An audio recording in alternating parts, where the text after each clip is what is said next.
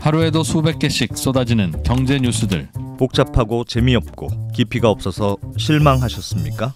복잡한 건 쉽게, 쉬운 건 재밌게 재미있는 건 깊게 전해드립니다. 뉴스는 이해다. 언더스탠딩 유튜브에서 언더스탠딩을 검색하세요. 좋아요 안 누른 당신 부끄럽군요. 구독 누르세요. 네, 자 그러면 바로 오늘 시장 마감 상황부터 짚어보도록 하겠습니다. 한국투자증권 우리 박제영 차장님 어서 오십시오. 네 안녕하십니까. 예, 네. 안녕하세요. 네. 예, 자, 새해 복 많이 받으십시오. 제가 예, 감사합니다. 아, 새해 첫 출연이시군요. 네, 첫 출연입니다. 아유 고맙습니다.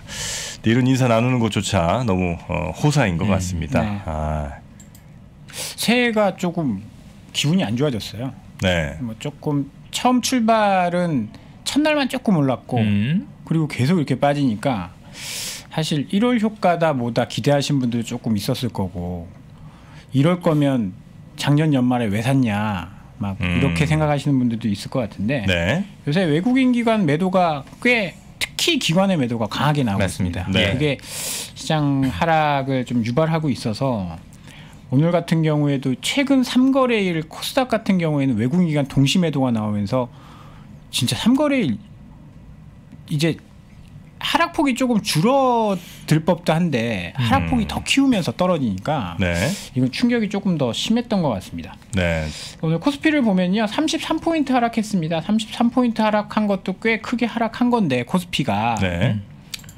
코스닥이 29포인트가 하락을 했습니다. 음, 코스피는 1.1%, 코스닥은 2.9%가 하락했으니까요. 네, 코스닥의 충격이 굉장히 컸다라고 봐야 될 것 같고요. 코스닥이 3일 연속 하락을 하면서 뭐 한 7% 가까이 지금 떨어졌습니다. 음. 그래서 천선을 깨고 내려가서 980포인트에 장을 마감했고요. 뭐 오늘 뭐 상승 종목 수는 한 400여 종목뿐이 없었고요. 대부분의 종목들이 하락을 했습니다. 수급을 보면 수급을 보면 오늘은 코스피 시장에서는 개인이 2,800억 매수했고요. 외국인이 1,800억 매수했는데 음, 기관이 4,800억 매도하면서 코스닥 하락에 좀 어, 영향을 미쳤고요. 아 코스피입니다. 죄송합니다. 네, 코스닥 같은 경우에는 음. 외국인과 기관이 동반 매도했습니다. 외국인이 1,200억, 기관이 2,400억. 음, 그러니까 뭐 일별로 보면 코스닥 같은 경우에는 지금 6거래일 연속 외국인 기관이 연속해서 매도를 하고 있거든요. 그러니까 배당락이 끝나고 그러니까 아, 배당락 일부터 음, 지금 하루도 안 빠지고 외국인 기관이 동시에 팔고 있다. 뭐 배- 파는 이유가 있나요? 배당락 전에 많이 샀거든요. 네, 배당락 전에 많이 산 이유는 이제 몇 가지를 이제 추론을 해보면 배당을 안 받는 근데 사실 코스닥 같은 경우는 배당을 많이 안 주니까 배당을 안 받는 것보다는 대주주 양도세를 회피한다든지 네, 이런 물량들이 꽤 많이 나왔어요. 그래서 11월부터 지금 두 달 동안 음. 두달 동안 외국인 기관이 코스닥 코스피 합쳐서 14조 원을 매수했거든요. 음, 그런데 그 물량들이 배당락부터 지금 계속해서 쏟아져 나오고 있는 네, 네, 그런 네. 상황이다라고 보셔야 될 것 같습니다.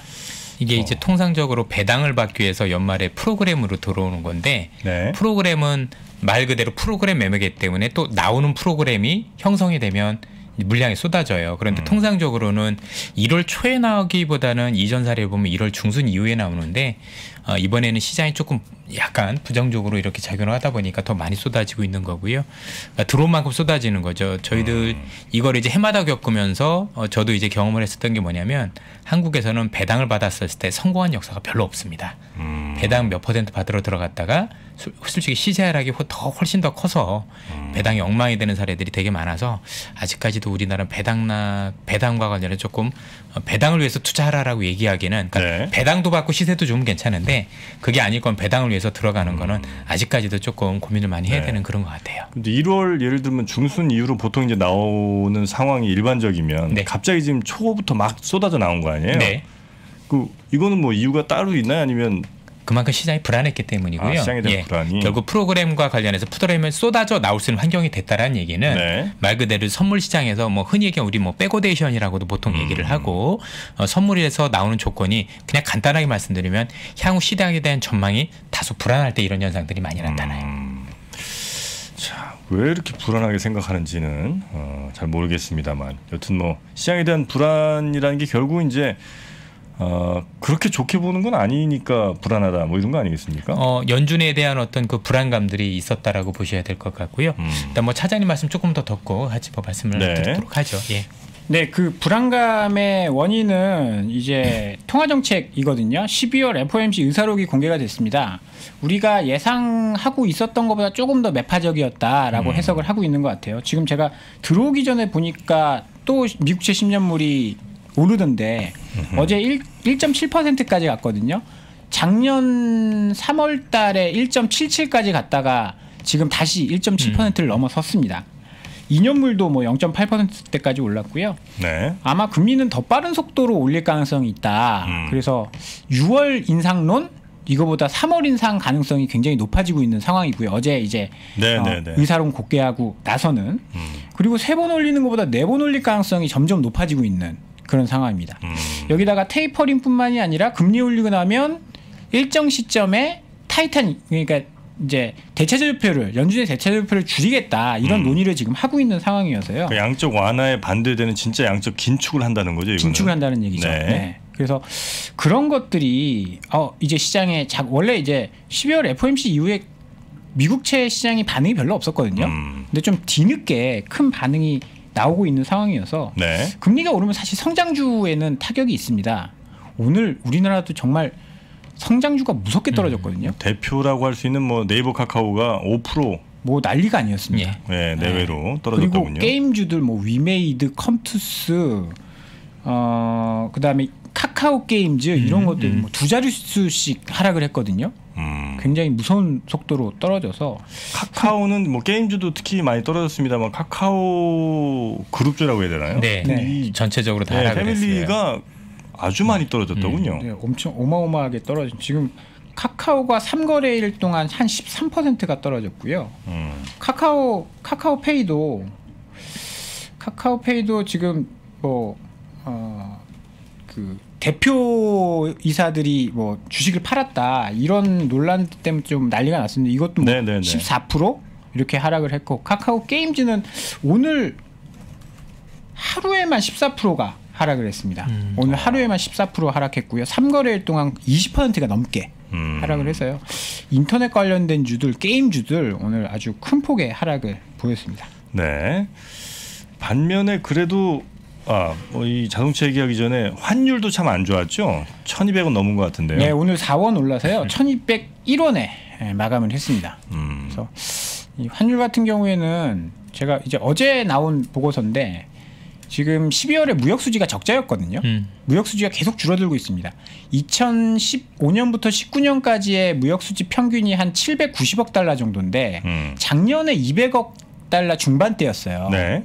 한 3분의 1 절반 정도 음. 로 줄어든 거죠. 그런데 추이를 보면 계속 떨어지고 있습니다. 12월에는 적자가 났고요. 그래서 1분기에는 이 추이로 간다면 1분기에는 무역 수지 적자가 날 가능성이 있다라고 이야기하면서 무역 수지 적자가 나면 지금 안 그래도 달러가 강세인데 달러가 강세에다가 무역을 해서 돈이 빠져나간다? 이거는 원화의 약세 요인이 될 수 있다. 그래서 1분기에는 조금 환율이 약세로 갈 가능성이 높다. 네. 뭐 이렇게 좀 분석을 하고 있더라고요. 음. 네.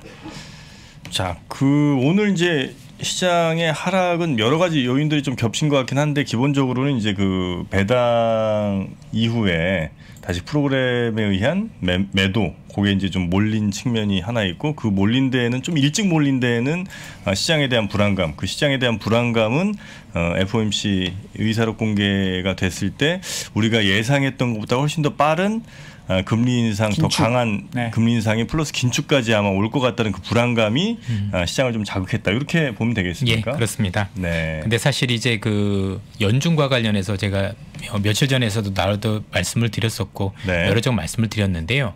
잘 아시다시피 연준은 음. 어, 이미 지금 가장 크게 해야 될 게 기대 인플레이션을 차단하는 거잖아요. 네. 앞으로 생길 수 있는 인플레이션을 내가 꺾을 수 있다라는 힘을 가져야 되는데 음. 이미 아시다시피 지난해 연준이 오판을 했어요. 음흠. 어, 물가가 일시적이다라고 잘못 판단했어요. 이 네, 얘기는 네. 뭐냐면 시장이 원래 한 발자국 나아가야 되는데 못 나간 거거든요. 음. 그럼 12월에 할 때 이런 기대 인플레이션을 꺾기 위해서는 연준에 대한 신뢰가 있어야 되고 연준이 인플레이션을 잡을 수 있다라는 이런 신뢰가 형성되기 위해서는 예상보다 더 강하게 발언할 수밖에 없었어요. 그러니까 초반부터 인플레이션에 대해서 우려를 했고 거기에 대해서 적절하게 대처를 하면 몰랐는데 네. 사실 대처가 늦었어요.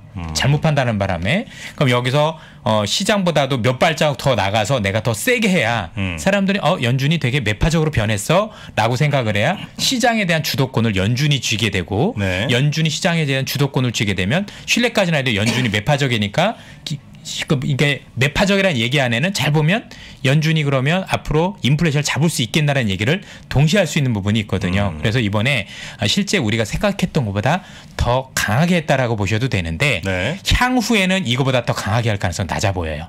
제일 세고 그 다음부터는 이거보다는 강하진 않습니다. 어쨌든 연준이 제일 중요한 건 이젠 다시 시장 통화 정책에 대한 그런 신뢰를 내가 다 신뢰를 가지고 이제 통제할 수 있는 아, 그 권력을 가져오는 거 있다. 이게 되게 중요하다고 보시면 될 것 같고요. 네. 요 얘기는 아마 제가 여러 차례 이 여기를 통해서도 말씀을 드렸었을 겁니다. 네. 실제로 연준이 12월 달에 11월 달부터 좀 약간 매파적으로 하면서 기대 인플레이션이 떨어졌다가 12월 20일부터 또 다시 올라오기 시작했거든요. 네. 근데 어제 그제 이런 이야기 나오면서 또 다시 살짝 떨어지고 있습니다. 음. 그런 것들을 보면 연준이 약간 이런 말은 좀 그런데 bluffing?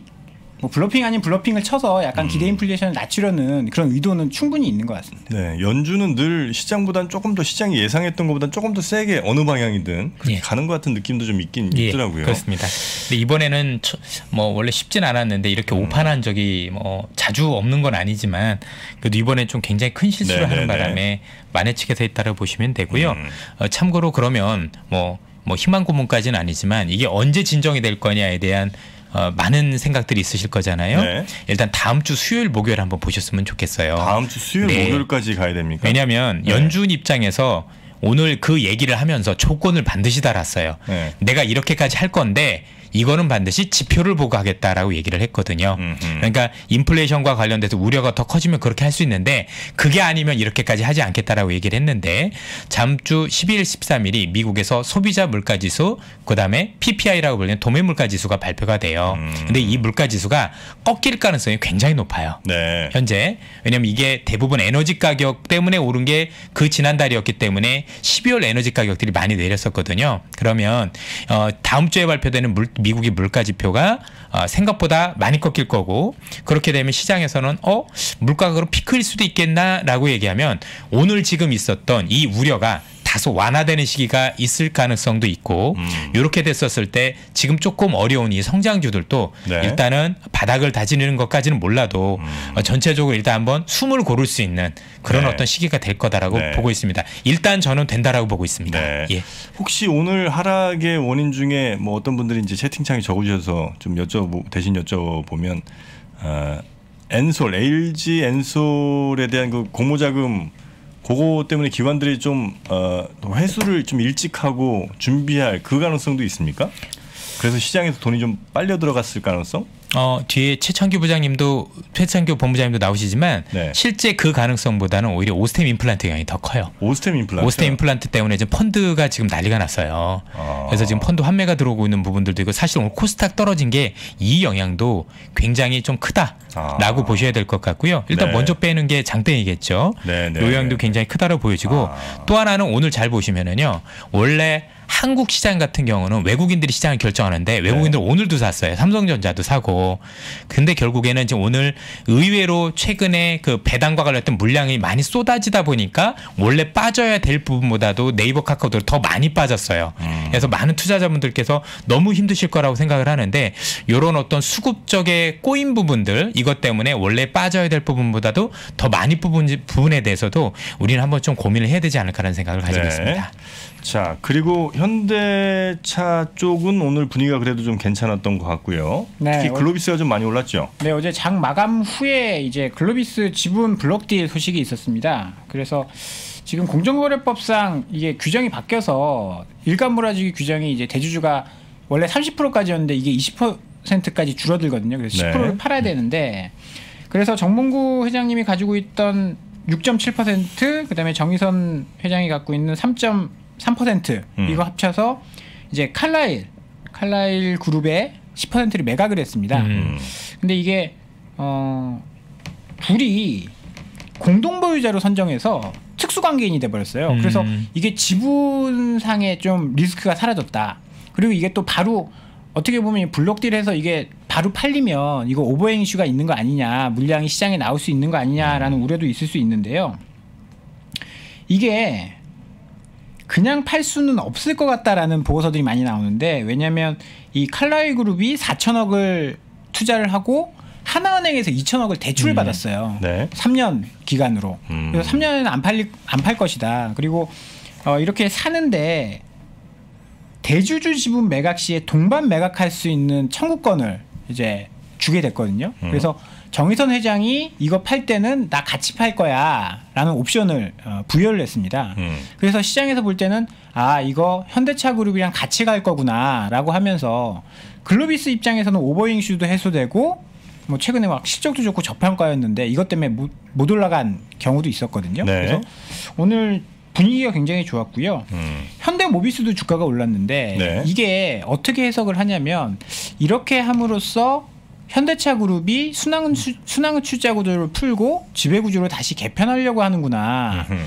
2018년도에 한번 시- 시도를 했었다가 네. 반대에 부딪혔습니다. 음. 그 당시에 어떤 시도를 했냐면 글로비스와 모비스 이거 두 개를 합병하려고 그랬어요. 네. 뭐 모비스의 AS 부분이랑 글로비스랑 뭐 분사를 해서 글로비스랑 합병하려고 그랬는데 반대에 부딪혀서 실패를 했죠.